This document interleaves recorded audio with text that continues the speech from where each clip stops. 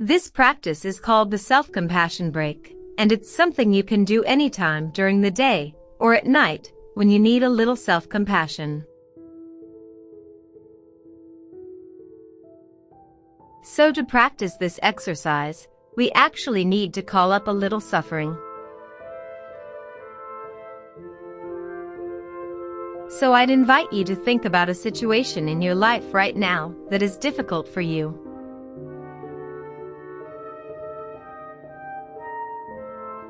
Maybe you're feeling stressed, or you're having a relationship problem, or you're worried about something that might happen.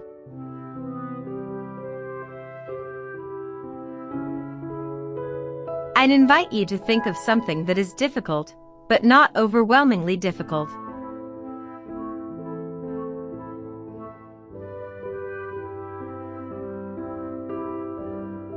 Especially if you're new to practicing the self-compassion break.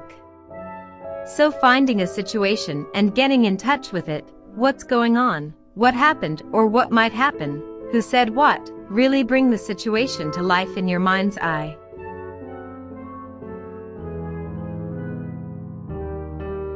And then I'm going to be saying a series of phrases that are designed to help us.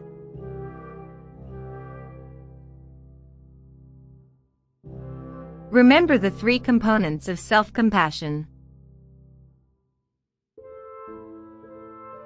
When we need it most. So the first phrase is this is a moment of suffering, right?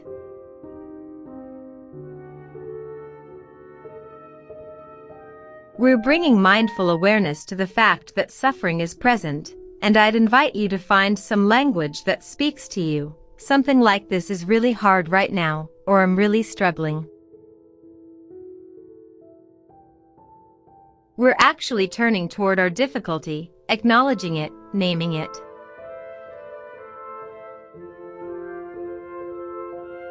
This is a moment of suffering.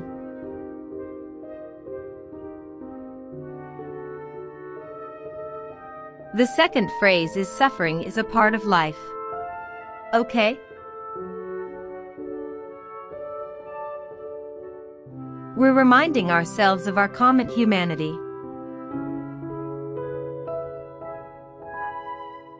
Suffering is a part of life.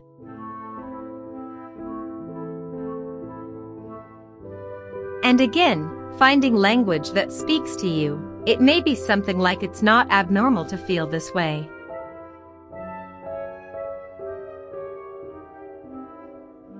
Many people are going through similar situations. Right?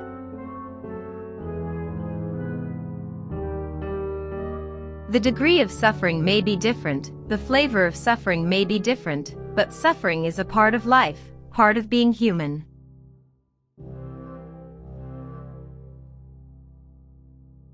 And then the third phrase is may I be kind to myself in this moment?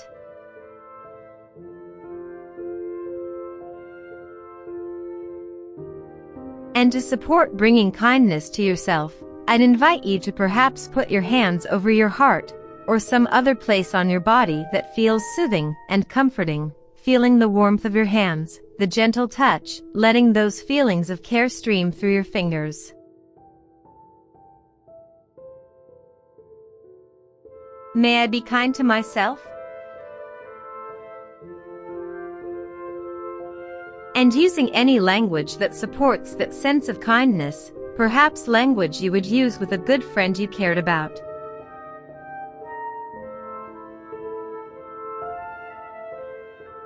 Who was going through a very similar situation, you know?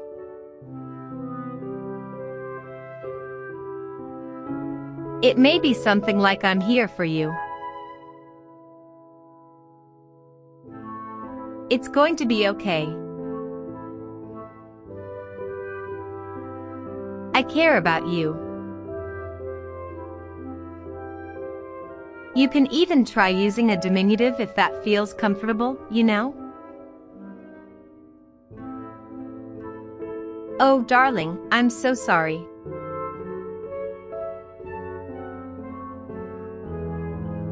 Or you can try calling yourself by your first name, anything that feels natural to express your deep wish that you be well, and happy, and free from suffering.